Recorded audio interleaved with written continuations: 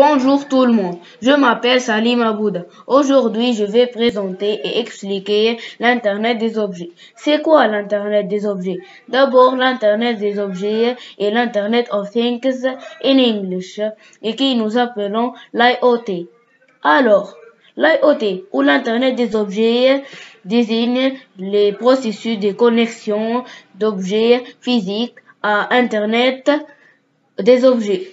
Euh, du quotidien tels que les ampoules aux dispositifs médicaux, appareils portables, appareils intelligents ou encore feux de circulation routière dans les villes intelligents.